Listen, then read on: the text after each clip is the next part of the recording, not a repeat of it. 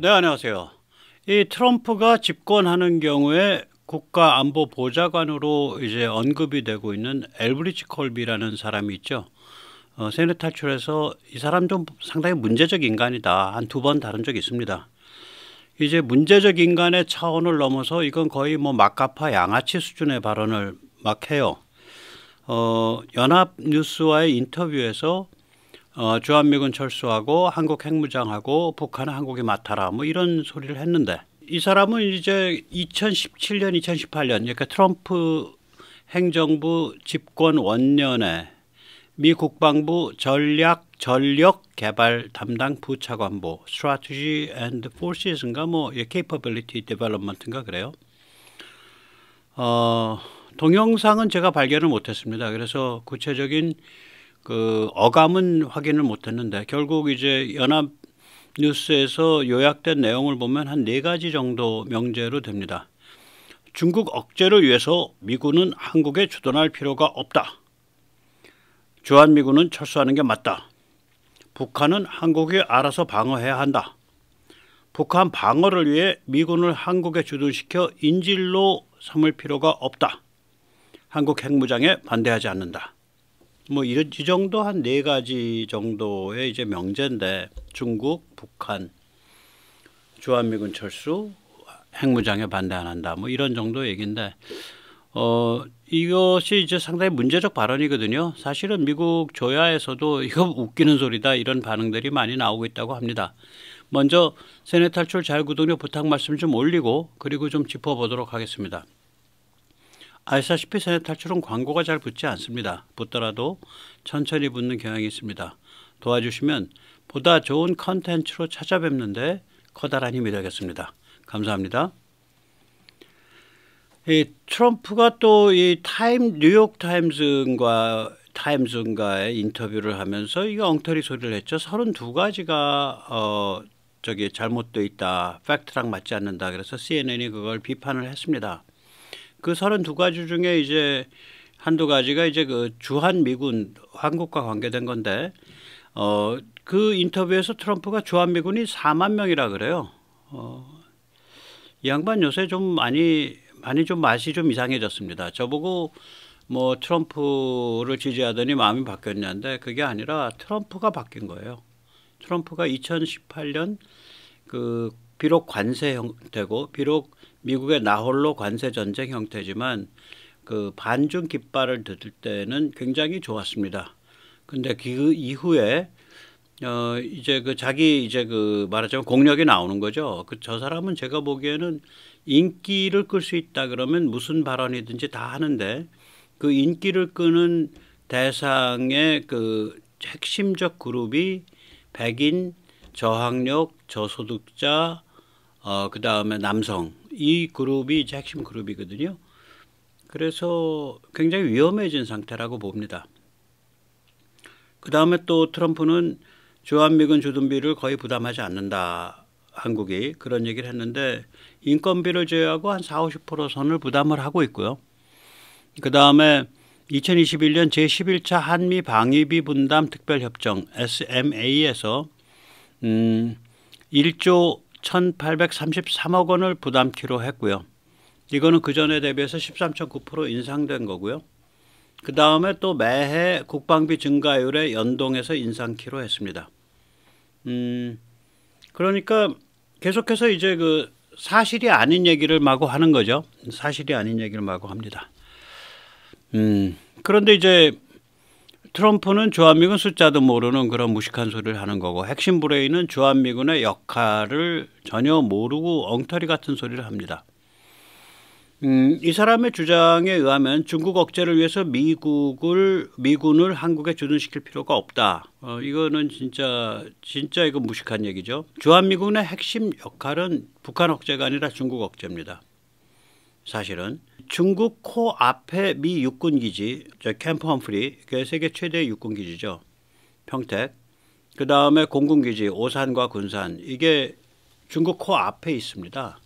어, 그 베이징까지 평택에서 1000km 정도거든요.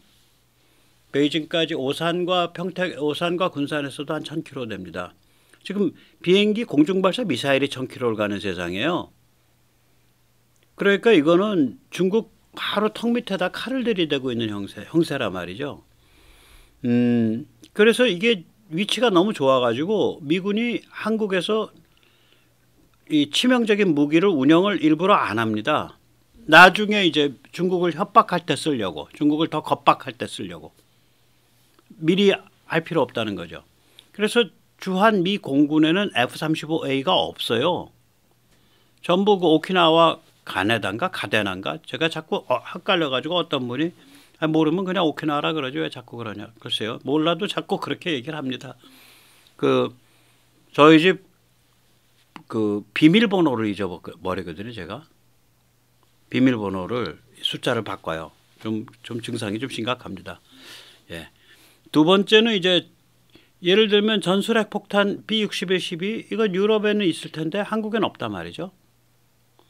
그 다음에 지금 미군이 그 일본과 필리핀에는 야 우리 이거 좀 하자 하자라고 말을 할까 말까 할까 말까 차마 말을 못 꺼내고 있는 게 있어요. 그게 장거리 극초음속 육군에서 운영하는 Range Hypersonic Weapon LRHW입니다. 아마 필리핀이나 일본에 말 꺼내봐야 그냥 거절당하니까 말을 못 꺼내고 있어요. 이런 거 한국에는 아예 갖다 놓을 생각 자체를 안 하지. 음, 네 번째는 지금 미군이 지금 일본을 간신히 설득을 해가고 있죠. 뭐 육군의 중거리 타격 능력 타이폰이라고 불리는데 두 가지 종류의 무기입니다. 하나는 함상 발사 대공 미사일을 지대지 지대함으로 바꾼 지대지 지대함 초음속 미사일로 변형시킨 SM6의 육군 버전.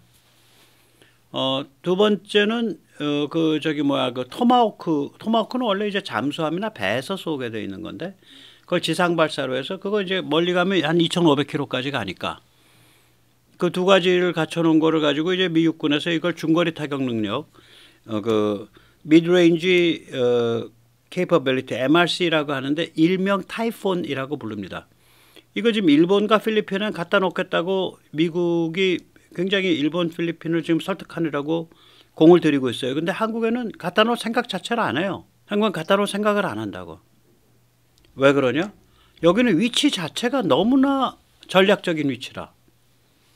그래서 중국과 앞으로 더 긴장이 높아지면 그때 갖다 놔도 되니까 지금 미리 긴장 수위를 그렇게 높일 거 없다 이거지. 그 대신에 한국이 이런 치명적 무기를 개발하는 것을 뭐 미국이 뭐 그렇게 많이 싫어하지 않는 그런 상황이죠. 지금 상황은. 예. 그 지금 그림에서 보듯이 이 제일도련이 한국 백령도에서 시작합니다. 이게 이게 백모의 제일도련이죠. 예. 여기 백령도에서 시작해요. 그래서 이게 한국 서해안을 타고 내려와서 제주 강정기지 앞을 돌아서 300km를 동쪽으로 가면 이게 큐슈 사세보입니다. 이 그러니까 이게 이제 미, 주일 미군 주일 미 해군의 핵심 기지죠. 그래서 큐슈를 타고 내려간 다음에 오키나와 열도를 타고 가서 대만 해서 이제 그 아래로 이어지는 이게 이제 사실상의 제일 도련이거든요. 그러면 이, 이 한국이 깨진다라는 얘기는 이 일본은 힘을 잘 못 쓰니까 일본은 뭐 좀 정신머리가 좀 그렇잖아요. 제일 도련이 그냥 깨져나간다는 소리죠. 그 이런 것들을 뭐 이 콜비는 얘기를 안 하는 거지. 예. 모르는 거죠. 그러니까 주한미군이 중국 억제에서 얼마나 중요한 역할을 하는지를 모르는 거라 아주 무식한 얘기를 하는 거예요. 그 마카파 양아치 무식쟁이죠. 예. 아, 참 골아픕니다. 그 다음에 이제 그 마치 뭐 얘기하는 거 보니까 뭐 북한을 방어하기 위해서 주한 미군이 있고 한국이 북한 방어에 대해서 미국에 의존하고 있다는데 아니 마, 말은 좀 똑바로 하자고. 한국에서는 얘기를 잘 안 해요. 왜 그러냐면 이게 중국과 자꾸 엮여서 반중적 발언이 되니까 한국은 반중적 발언을 하는 것을 굉장히 그 뭐라 그럴까 금기를 좀 하죠. 예, 많이 금기를 합니다. 백모 같은 사람만 하지. 예를 들어서 어 그 제가 아는 사람이 이제 전문 번역자인데 그 어느 출판사에서 문화혁명에 대한 책을 번역을 했어요. 미국 책이에요. 어, 그런데 그걸 문화혁명, 미국 책에도 cultural revolution이니까 문화혁명이잖아요. 문화혁명이라고 글을 쓰면 편집자가 문화 대혁명이라고 바꿔서 보내요. 아니다. 다시 또 그걸 문화혁명이라고 다시 해서 또 번역 원고를 보내면 또 바꿔서 와. 그래서 편집자랑 대판 싸웠어요. 그러니까 위대한 혁명이라는 걸 강조를 해주질 않으면은 마치 그게 벌써 한 10년 전 일인데 문화대혁명, 문화대혁명. 그러니까 문화혁명이라고 부르는 것조차도 금기시하더라고. 그럼 그 편집자가 특별히 뭐 중국 간첩 같은 사람이냐? 아니에요. 문화혁명을 문화대혁명이라고 해야 이거 가지고 시비 거는 놈이 없다 이거지. 그러니까 그렇게 쓰는 거죠. 예. 그래서 이제 이게 한국에서는 이게 다 중국을 겨냥한 거다 이런 얘기를 한국은 잘 표현을 못 하잖아. 그게 금기시돼 있단 말이에요. 앞으로 많이 표현해야죠. 제야나 국회의원들은 많이 해야 됩니다. 조중동 많이 해야 돼요. 그래서 막가는 아, 말로 주한미군은 그 북한 상대로 하는 게 아니죠. 한국 힘만으로도 북한은 한두 시간 안에 요리가 끝나요. 사실은 제가 보기에는. 그럼 북이 핵과 탄도미사일 갖고 있지 않냐? 갖고 있죠. 근데 이건 오너는 중국이란 말이에요. 그러니까 중국 지령에 의해서 사용하는 거죠. 중국은 그럼 북한에 이걸 왜, 왜 핵과 탄도미사일을 왜 줬냐? 첫째 군사적 강압이죠. 밀리터리 코어션.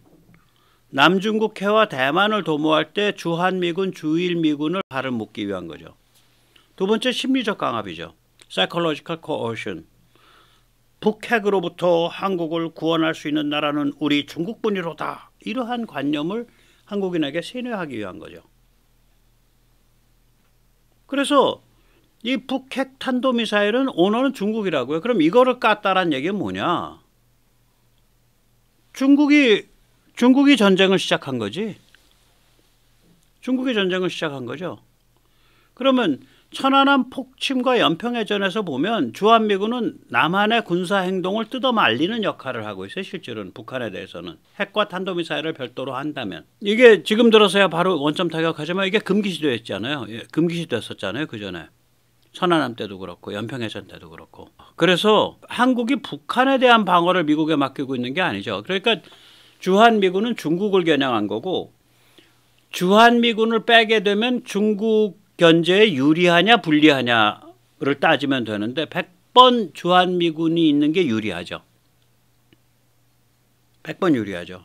독특한 군사지휘적 조건 때문에 또한 한국의 강력한 자주국방 때문에 그러니까 이게 말이 안 되는 소리를 막 주워 섬기고 있는 거예요. 이거 뭐 거의 막가파인 건 좋은데 거의 양아치 관종이더라고.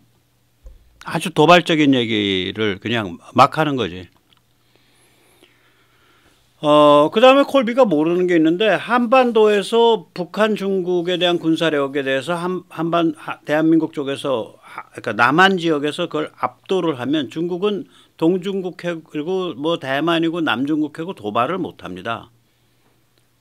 한반도 전쟁은 반드시 중국과의 전쟁입니다. 북한은 전쟁을 일으킬 능력이 없어요.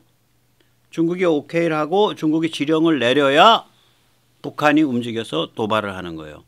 이거는 1950년 겨울부터 유엔군과 싸운 것은 그러니까 북한군과의 싸움은요 50년 6, 6월에서부터 50년 한 11월까지 해서 끝나요. 그럼 50년 11월부터 53년 7월까지 무려 한 2년 8개월 거의 거의 거의 뭐 30개월 동안은 누구랑 싸운 건데 중국과 싸웠어요. 북한군이 아니에요. 그래서 300만 명이나 들어왔다고요, 중국이. 한 100만 명 정도 사상자 났죠. 그래서 중국이 6.25 정전협정 서명 당사자 아닙니까? 그 한반도 전쟁 나면 이건 중국과의 전쟁이에요. 그러니까 이게 지금 콜비가 이게 악랄한 소리인 게 중국과의 전쟁을 주한미군 없이 너희가 먼저 얻어 맞아라. 핵 채워줄게. 그래서 이거 막가파 양아치 아니야? 이렇게 되는 거죠. 막가파 양아치라고. 한반도에서 전쟁 나면 중국과의 전쟁인데 그 파도를 너희가 먼저 얻어 맞아라. 핵 채워줄 테니까 너희 잘났다며. 저그 소리 하고 있는 게 이 인간이. 한반도에서 중국과 전쟁 붙으면 미군 없이 너희가 먼저 얻어맞고 깨져라. 그래서 제가 이걸 이거 마카파 양아치다 이렇게 부르는 거죠. 예.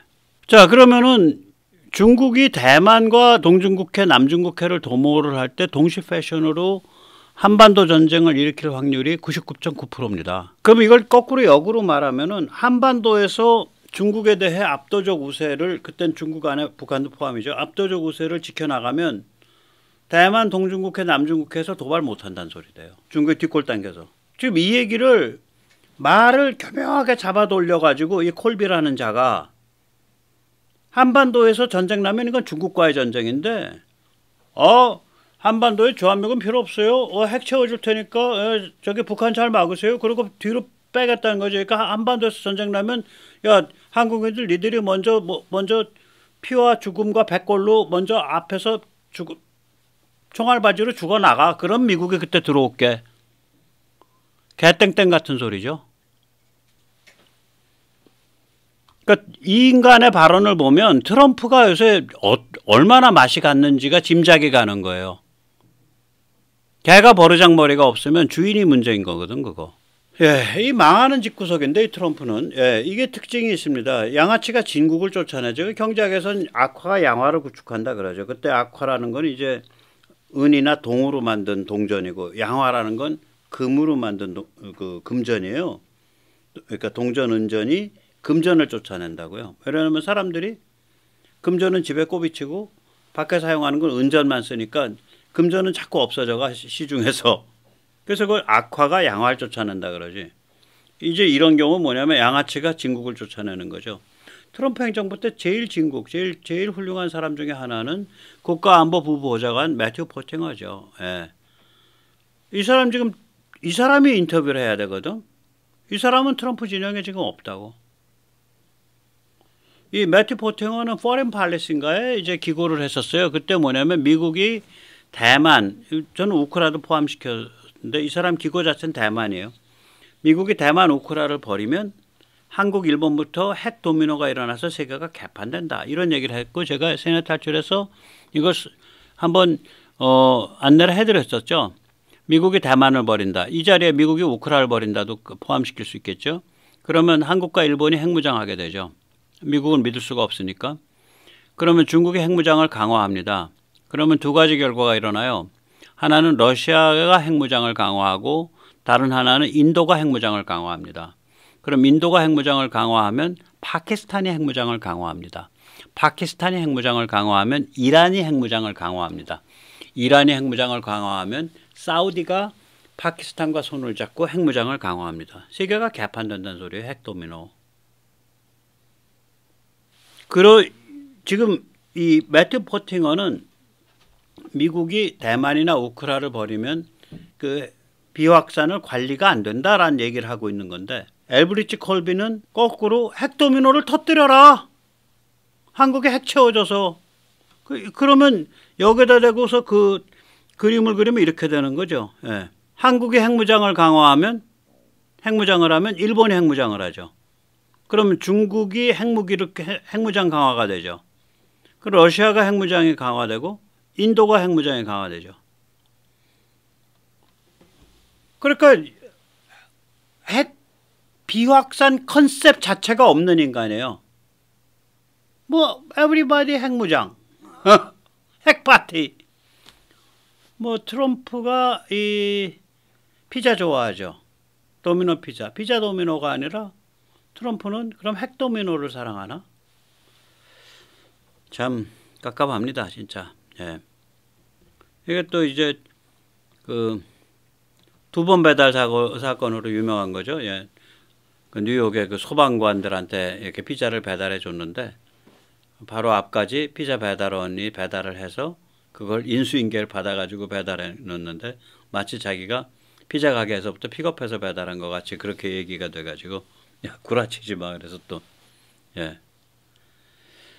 어쨌거나 어, 트럼프는 뭐 피자 도미노만 좀 좋아했으면 좋겠는데 핵 도미노를 사랑한다고 보입니다. 그러니까 트럼프 주위의 사람들이 또 트럼프의 지지를 받아서 당선되고 싶어하는 사람들이 주한미군 철수, 어, 한국 핵무장 얘기를 계속 꺼내는 거예요. 지금 이게 트럼프 때 트럼프가 집권하게 되면 국가안보 보좌관 하겠다고 지금 관심 종자 관종 막가파 양아치 이제 콜비가 그 중에서 제일 솔직 담백하게 이런 개소리를 했고 어, 린즈 그레엄 선수 중에 선수인데 올해 지금 상원 선거에 걸려 있거든요. 그러니까 트럼프 그 마가 진영의 지지가 절실하니까 거기서도 이제 뭐 자체 핵무장 비슷한 얘기 비슷한 그 언젠가 자체 핵무장을 고려해야 되는 그런 순간이 올 수도 있다 뭐 이런 헛소리 했었죠 린즈 그레엄도 예.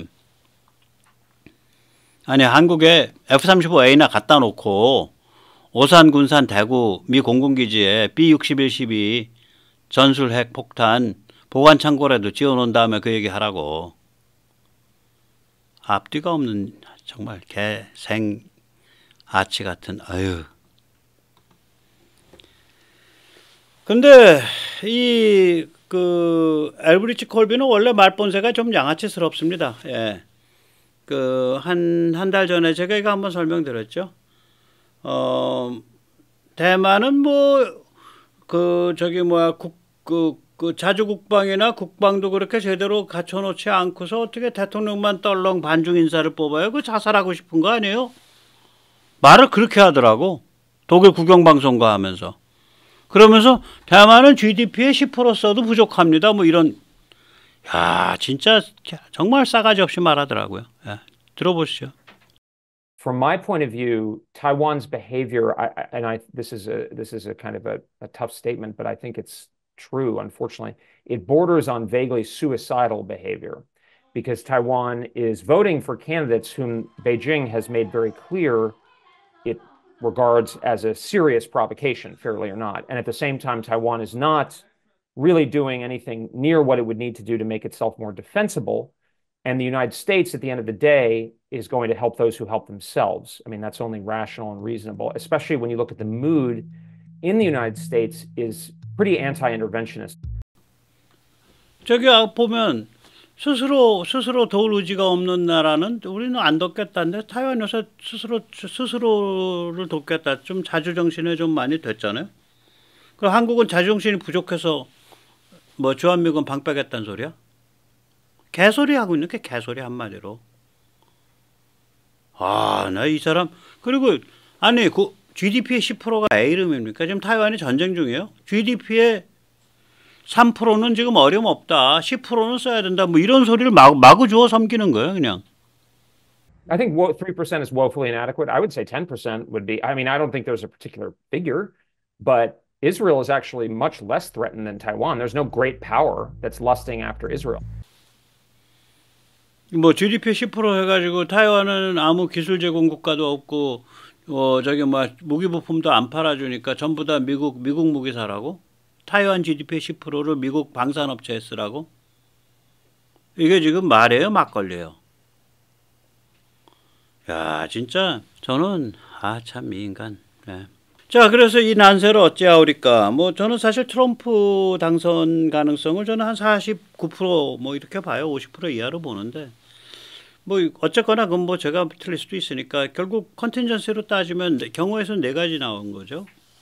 예, 미국과 세계는 반중 글로벌리즘이 승리하냐 아니면 트럼프 고립주의가 승리하냐 한국은 자유공화주의가 선방하냐 아니면 종중 조중동 한동훈이 득세하냐. 예, 조중동 한동훈 요새 이거 종중이랑 같이 노는 거예요. 제가 보기에는. 한동훈이 어 그러니까 이 가치지향 글로벌리즘과 발맞추어서 진행된 윤석열 정부의 업적을 단 하나라도 칭찬한 적이 있나? 그리고 이번 중간 선거가 그 업적에 대한 평가라는 얘기를 한 적이 있나? 조중동이 그런 식으로 조명한 적이 있나? 싫은 거예요. 자기 기득권. 그리고 대한민국의 강화가 싫은 거야.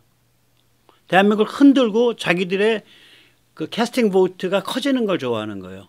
아, 요물 덩어리들입니다. 저는 그렇게 봐요.